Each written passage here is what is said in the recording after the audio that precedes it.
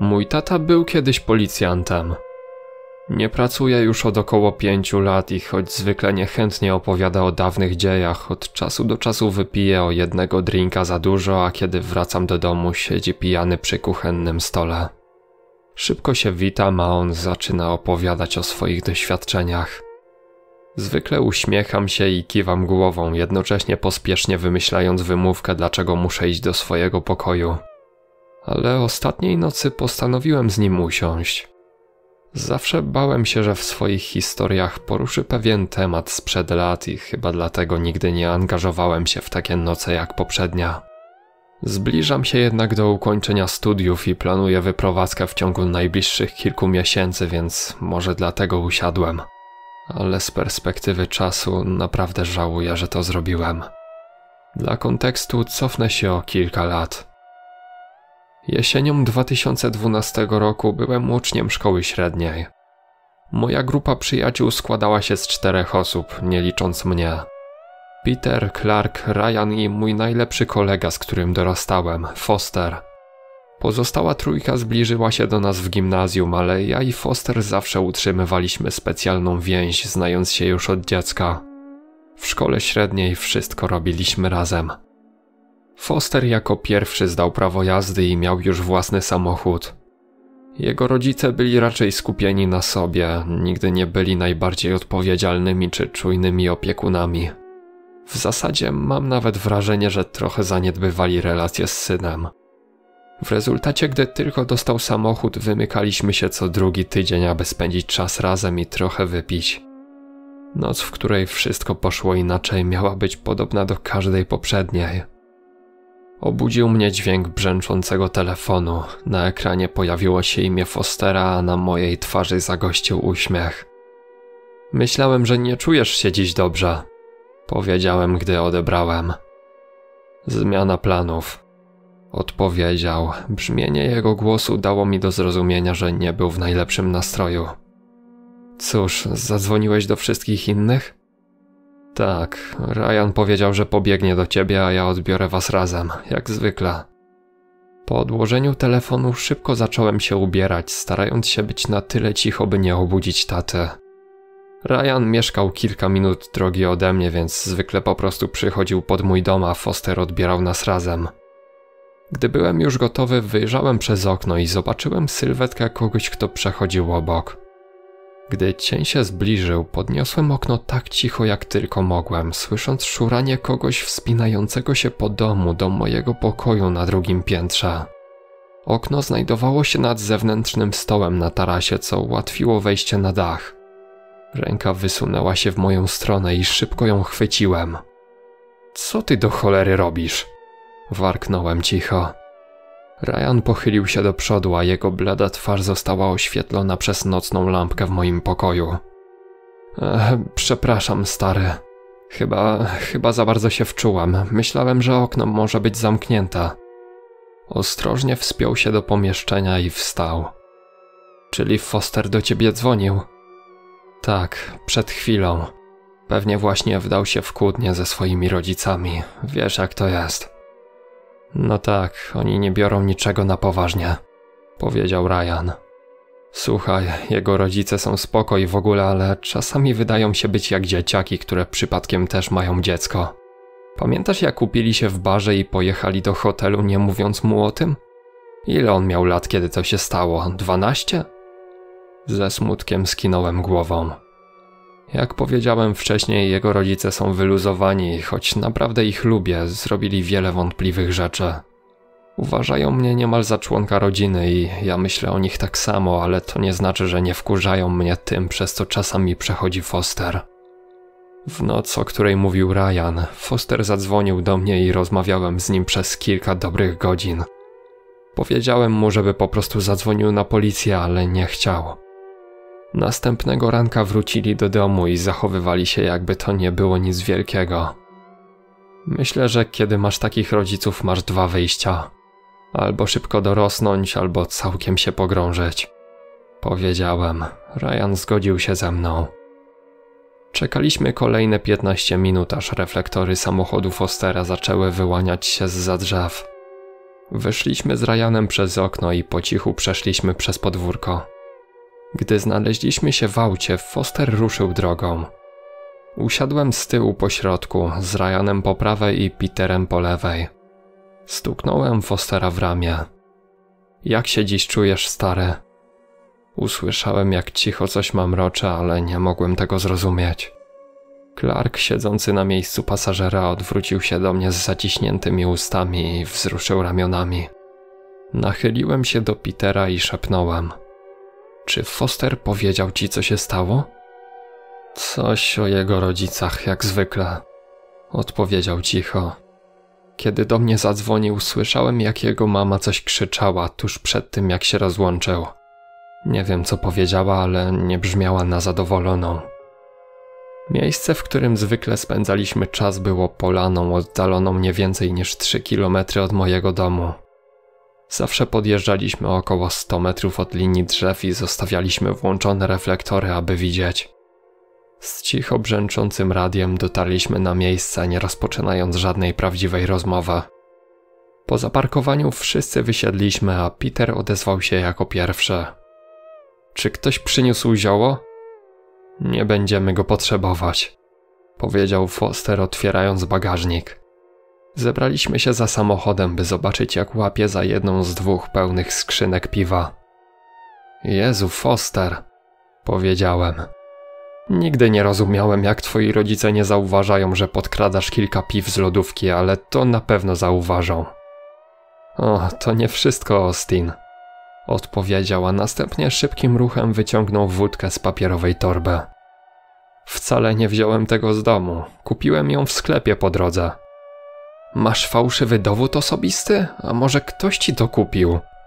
Wykrzyknął Ryan. Foster nic nie powiedział, ale uśmiechnął się lekko. Następnie wyjął kilka małych plastikowych kieliszków z tej samej torby i zaczął układać je rzędem na klapie zamkniętego bagażnika. Ryan odwrócił się do mnie i zapytał szeptem: Ukradł je? Wzruszyłem ramionami. Nie jestem kablem, ale jak mówiłem, mój tata był wtedy gliną. Jeśli Foster ukradł to wszystko, to przyznam, że czułem się trochę niekomfortowo w jego obecności.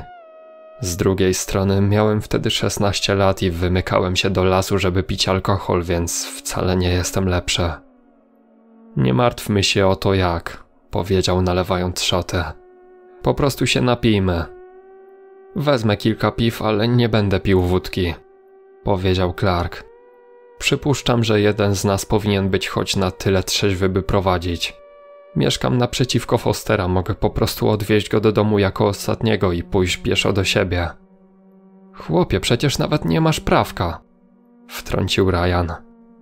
Samochód jeździ na paliwo, a nie na dokumenty. Foster przytaknął i spełnił jego prośbę, zostawiając jeden pusty kieliszek. Pierwsze 20 minut było w większości spokojne, więc przejdę dalej. W połowie mojego drugiego piwa i po dwóch kieliszkach wódki czułem się już całkiem wyluzowany. Foster odtwarzał playlistę na Spotify ze swojego samochodu, leżąc na masce i patrząc w gwiazdę. Podszedłem i oparłem się o auto obok niego. Więc zacząłem. Co się dzieje, stary? Westchnął i podniósł się. Cóż, pamiętasz jak wcześniej rozmawialiśmy i powiedziałem ci, że nie jestem w nastroju do wyjścia? Powiedział, zmniejszając głośność muzyki. Przytaknąłem. Wszyscy zaczęli podchodzić bliżej, by posłuchać, ale Ryan wciąż zataczał się na boki po prawej stronie samochodu. Foster lekko zachichotał. Wyglądało na to, że mimo wszystko czuje się przynajmniej trochę lepiej. Powiedziałem mamie, że wrócę do domu dopiero około północy, bo byłem u ciebie, co oczywiście było kłamstwem. Miałem jechać na kemping, żeby spędzić czas z Jessiką. Hej, powiedział Peter, biorąc ogromny łyk piwa. To moja dziewczyna. Wyciągnął pięść do Fostera, który rzucił mu tylko zirytowane spojrzenie.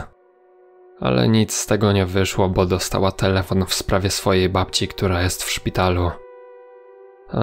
Okej, okay, powiedział niezręcznie Peter i wznowił popijanie swojego piwa. Więc oczywiście wróciłem do domu dużo wcześniej niż się spodziewałem. Kontynuował Foster. Kiedy tam dotarłem, ale nic z tego nie wyszło.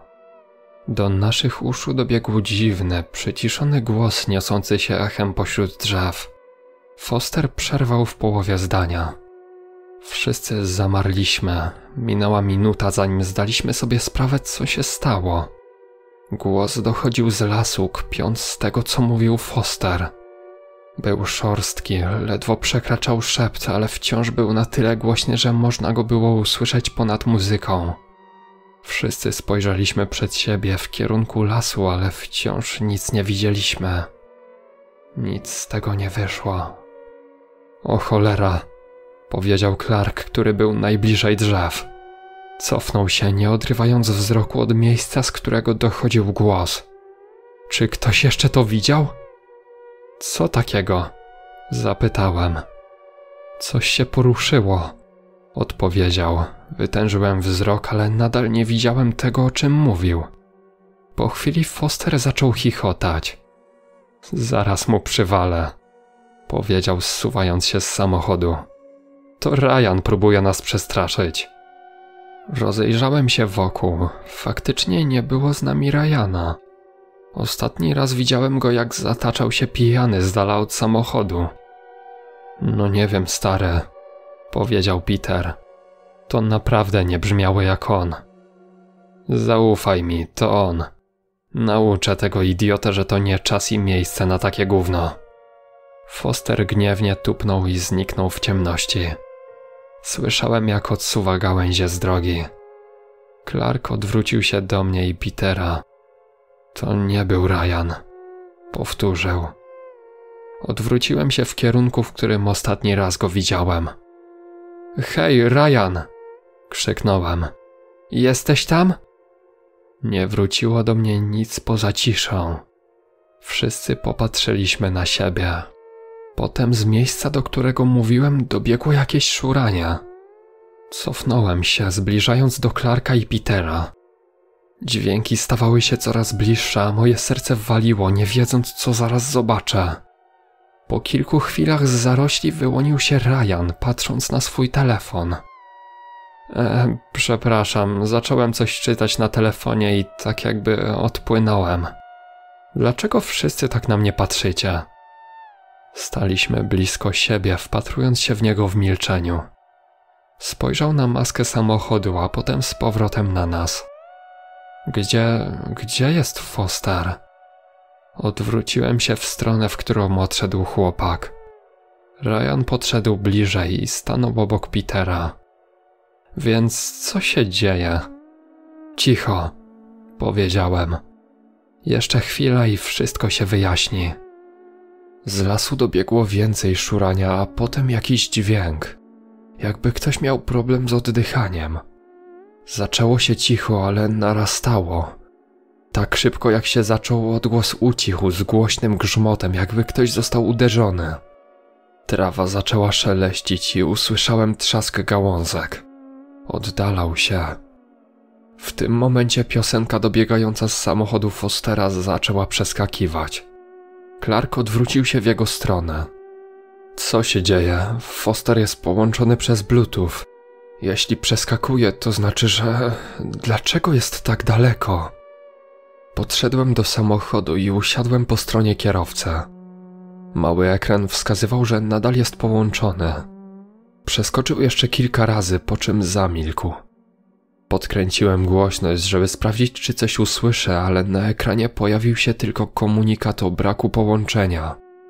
Wyszedłem z samochodu, zostawiając otwarte drzwi i wróciłem do nich. Jego telefon się rozłączył. Trzeba iść go poszukać. Nagle coś zaczęło biec przez las w naszym kierunku.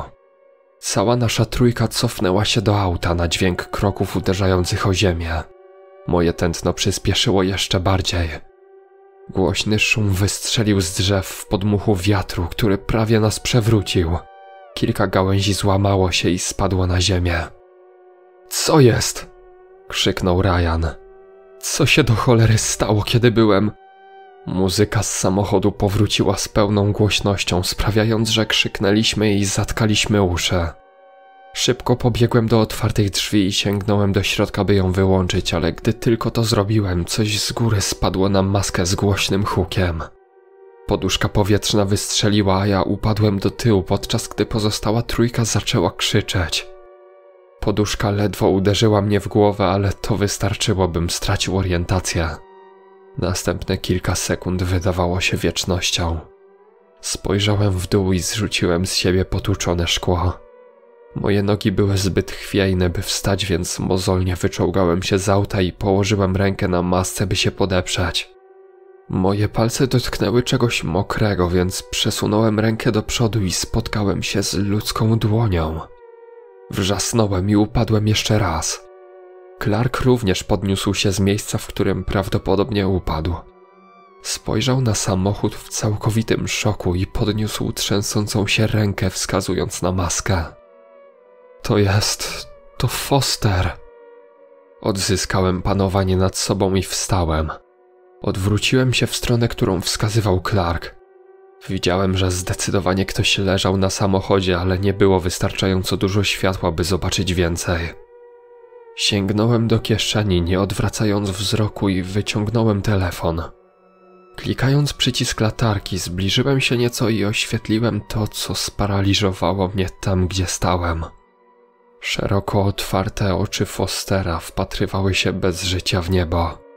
Jego dłoń, ta której dotknąłem, zdawała się być ledwo przytwierdzona do ramienia. Nic poza kawałkiem skóry i ścięgien nie łączyło jej z resztą ciała, które wyglądało na poważnie połamane. Jego prawe ramię i dolna połowa lewej nogi całkowicie zniknęły. Rozdarte, zakrwawione ciało przypominało o tym, co powinno tam być. Ale najbardziej przeraziło mnie jego gardło. Było głęboko rozcięte, ale nie w zwierzęcy sposób jak reszta obrażeń.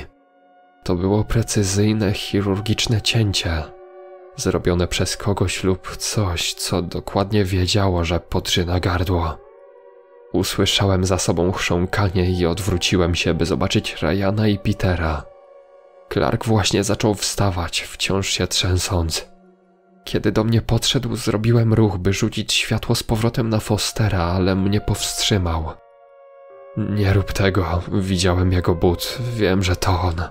Nie chcę widzieć więcej, spadajmy stąd.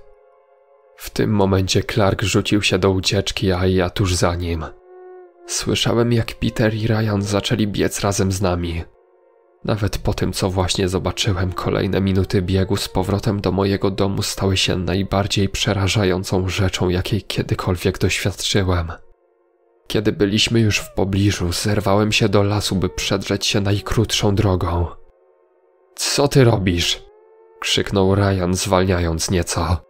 Tam wciąż jest to coś. Nie zatrzymałem się ani nie skręciłem, po prostu biegłem dalej, widząc niewyraźne światła mojego domu, ale wciąż byłem daleko. Nie wiedziałem, czy podjąłem złą decyzję, czy nie, ale widok tych świateł dawał mi nadzieję. Potem dotarło do mnie, że mój dom jest najbliżej. A co jeśli im się nie uda? Odwróciłem się w prawo, wciąż ich widziałem biegnących drogą między drzewami. Hej, biegnijcie do mojego domu! Nagle odbiłem się od jednego z drzew ramieniem. Upadłem i przeturlałem się po ziemi. Odwracanie głowy podczas biegu było złym pomysłem. Wstałem tak szybko, jak tylko pozwoliły mi na to zmęczone nogi. W świetle księżyca widziałem tylko niewyraźne sylwetki drzew.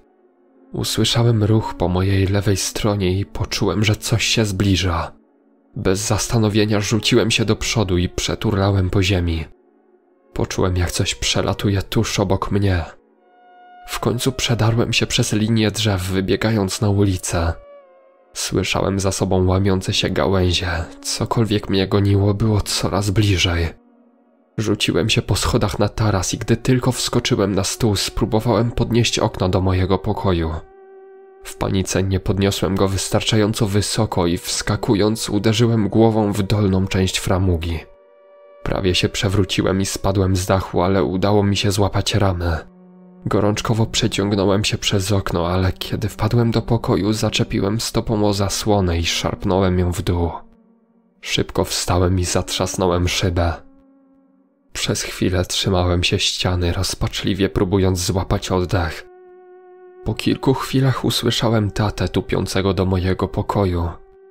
Przez moją głowę natychmiast przeleciały setki możliwych scenariuszy. Uznałem, że najlepiej będzie, jeśli nikt prócz nas się o tym nie dowie. Szybko wskoczyłem do łóżka i zarzuciłem kołdrę na ramiona, zamykając oczy. Usłyszałem szarpnięcie otwieranych drzwi, a potem ciszę. Wciąż miałem zamknięte oczy, spodziewając się, że tata albo spróbuje mnie obudzić, albo po prostu wyjdzie, ale nic takiego się nie stało. Nie słyszałem nic, ale wciąż czułem jego obecność. Po kilku chwilach ciszy powoli zacząłem otwierać oczy, by spojrzeć przez rzęsy. Ledwo widziałem sylwetkę taty stojącego w drzwiach, ale wydawało mi się, że światło księżyca padało zbyt daleko ode mnie, by mógł wyraźnie zobaczyć moją twarz. Otworzyłem więc oczy szerzej i zobaczyłem, jak tata powoli podnosi rękę. Poruszał nią w przód i w tył, a potem przestał. Nie jestem pewien, ile czasu minęło. Wiem tylko, że tata stał i patrzył w stronę okna o wiele za długo. W końcu, nie całkiem wiedząc, co się dzieje, zamknąłem oczy i spróbowałem zasnąć, ale nadal nie mogłem. Dopóki nie usłyszałem zamykających się drzwi i nie poczułem, że jestem sam. Następnego ranka nie czułem się zbyt dobrze. Wysłałem wiadomość do wszystkich, aby sprawdzić, czy wrócili do domu, i w końcu wszyscy odpowiedzieli. Wszyscy prócz Fostera. Słyszałem, jak tata rozmawia z kimś przez telefon, a potem wychodzi. Wiedziałem o co chodzi, ale nic nie powiedziałem. W ciągu następnego tygodnia wszystko stało się jasne. Foster został znaleziony przez myśliwego około siódmej rano. Gdy policja znalazła się na miejscu, cały obszar został odgrodzony. Alkohol w samochodzie należał do asortymentu sklepu monopolowego znajdującego się niedaleko domu Fostera. Najwyraźniej ukradł go wybijając okno. Kiedy tata mi o tym powiedział, udawałem tak dobrze jak to tylko możliwe. Naprawdę byłem zdruzgotany, że straciłem Fostera, więc to nie było trudne. Jednocześnie nie chciałem, żeby tata wiedział, że również tam byłem. Teraz, gdy było już po wszystkim, ból po stracie najlepszego przyjaciela uderzył we mnie jak rozpędzona ciężarówka. Policja jednak nieco zmieniła historię, aby nie wywoływać zamieszania w naszym mieście, ogłaszając, że był to atak niedźwiedzia i nie nagłaśniając zbytnio wszystkich ran Fostera. Zakładam, że myśliwy został opłacony, aby nie powiedział, jak wyglądało ciało, gdy zostało znalezione. Kiedy wszyscy wróciliśmy do szkoły, relacje między naszą czwórką natychmiast się zmieniły. Mieliśmy ogromny sekret, którego nie mogliśmy wyjawić, a nawet gdybyśmy to zrobili, nie byliśmy pewni, czy ktokolwiek nam uwierzy. Przez chwilę myślałem, że przynajmniej jeden z nas zostanie przesłuchany, ale nigdy się tak nie stało. Ponadto odczuwam teraz paraliżujący strach przed lasem. Myślę, że policja badała również inne domniemane ataki dokonane przez cokolwiek, co było z nami tamtej nocy, ponieważ mój tata wprowadził zasadę, aby nie chodzić do lasu samemu. Ale to i tak nie miało żadnego znaczenia. Od tamtej pory nie byłem w lesie ani sam, ani z nikim innym. Następnego dnia natychmiast wymieniłem podartą zasłonę. Nawet samo wpatrywanie się w drzewa dosłownie mnie paraliżowało. Clark, Ryan i Peter są mi bliscy do dzisiaj, ale od śmierci Fostera nie byliśmy już tacy sami. Od tamtej pory nigdy nawet otwarcie o tym nie rozmawiałem. Aż do ostatniej nocy. Siedziałem naprzeciwko taty z węzłem w klatce piersiowej, czekając na to, co ma do powiedzenia. Trzymał butelkę piwa przed sobą, wpatrując się roztargnionym wzrokiem w końcówkę napoju. Po chwili wstał, podszedł do lodówki i wziął dwa kolejne piwa, wyrzucając pustą butelkę. Po otwarciu obu usiadł z powrotem i podsunął mi jedno. Co robisz? Zapytałem.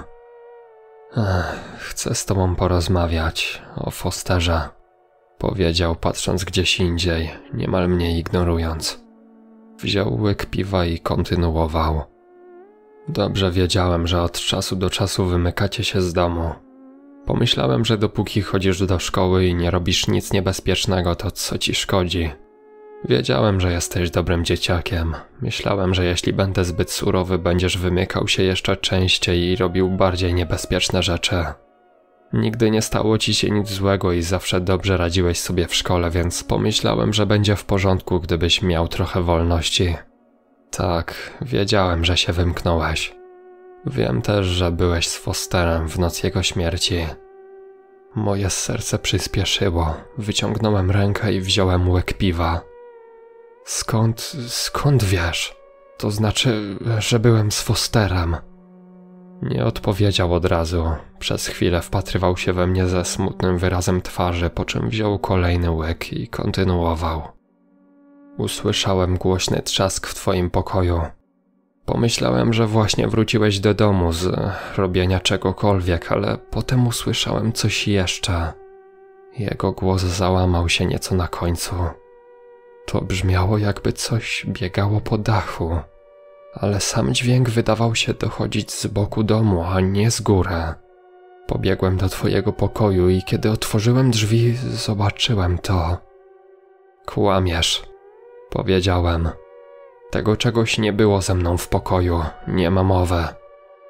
Masz rację, nie było go w twoim pokoju. Zaglądał przez okno. Nie bardzo wiedziałem, jak mam zareagować na te informacje. Moje usta powoli się otwierały, gdy czekałem, aż będzie kontynuował. Widziałem tylko sylwetkę czegoś, co z początku uznałem za człowieka, ale potem zauważyłem, że ma za sobą te zaokrąglone rzeczy. Wtedy dotarło do mnie, że to skrzydła, ale najgorsze były jego oczy. Ogromne, błyszczące ślepia wpatrywały się we mnie, a ja nie mogłem się ruszyć. Nie wiedziałem, co robić, czy powinienem cię obudzić, czy nie. Wydawało mi się to wiecznością, nie byłem nawet pewien, czy mrugałem. Potem jego skrzydła powoli się wysunęły, opuścił ramiona i wyprostował sylwetkę. Na początku byłem zdezorientowany, ale potem zdałem sobie sprawę, że mnie naśladuje. Jego głos znów się załamał. Wyciągnął rękę i wziął kolejny łyk piwa. Kiedy je odłożył, przetarł oczy. Nie wydawał żadnego dźwięku. Podniosłem rękę, a on zrobił to samo. Przesunąłem ją do przodu i do tyłu. Zrobił to samo. Dokończyłem. Wziąłem duży łyk piwa. Tamtej nocy wcale nie spałem. Wyszeptałem. Nie miałem pojęcia, dlaczego stałeś tam tak długo, ale teraz żałuję, że się dowiedziałem. Jeszcze nie skończyłem, Austin. Spojrzałem na niego. Wpatrywał się we mnie z determinacją. Wydawał się mniej pijany niż wtedy, gdy tu przyjechałem, jakby rozmowa o tym trochę go otrzeźwiła. Nie wyszedłem z twojego pokoju, dopóki nie zobaczyłem, jak odlatuje w stronę lasu. Kiedy wyszedłem później tego ranka, wziąłem kilka kamer i umieściłem je wokół domu.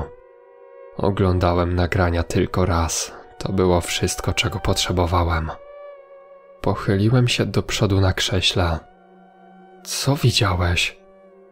Ech, kolejnej nocy obudziłem się wcześnie rano, by sprawdzić nagrania. Jedyną kamerą, która coś uchwyciła, była ta, którą umieściłem na martwym drzewie obok potoku. Na początku nagrania była tam osoba. Nagi mężczyzna odwrócony tyłem do kamery. Szedł do przodu, a potem do tyłu, do miejsca, w którym zaczął. Potem wyglądał jakby naśladował uścisk dłoni, a później jego głos zaczął się trząść. Później jego łopatki się otworzyły. Te mięsiste skrzydła wyszły ze szczelin, a jego skóra zdawała się zmieniać kształt, czyniąc go bardziej nieludzkim. Nocne wideo było czarno-białe, ale zmiana była bardzo zauważalna. Gdy skrzydła całkowicie się rozwinęły, odleciał. Nigdy więcej nie spojrzałem na żadne z nagrań. Wiem, że byłem policjantem, ale nic nie możecie na to przygotować. Myślę, że najgorsze w tym wszystkim było to, że wydawało mi się, że ćwiczy ludzkie maniery, tak aby wtopić się w tłum. Dokończył ostatnie piwo. Przykro mi z powodu Fostera. Powiedział po chwili ciszy. Ale cieszę się, że to nie ty. Przepraszam, jeśli wydaje się dziwne, że ci to wszystko powiedziałem. Może tak jest. Nie wiem, ale myślę, że powinieneś wiedzieć. Zostawiając pustą butelkę na stole, wstał i ruszył w stronę schodów. Gdy dotarł na górę, odwrócił się do mnie po raz ostatni. Dobranoc, Austin. Mimo, że poszedł spać, ja jeszcze pozostałem na swoim miejscu, przetwarzając to, co właśnie mi powiedział. Zdecydowanie chciał mi to przekazać od dłuższego czasu. Mimo to mam wrażenie, że rano będzie tego żałował. Pomyślałem o ostatnich kilku latach i o tym, jakie mam szczęście, że to coś nie znalazło mnie po raz drugi. A może znalazło? Poszedłem do swojego pokoju i po raz pierwszy od tamtej nocy odsunąłem zasłonę. Widziałem linię drzew, ledwo oświetloną przez księżyc w pełni. Wpatrując się w noc, zastanawiałem się nad prawdopodobieństwem, że coś na mnie patrzy. Cokolwiek to jest, chce wyglądać i zachowywać się jak my, to oczywiste. Czy może być w moim rodzinnym mieście, wyglądając tak ludzko jak to, co widzimy w lustrze? A może wciąż tam jest, czai się za drzewami, spowity lasem. Tylko czeka, obserwuje, ćwiczy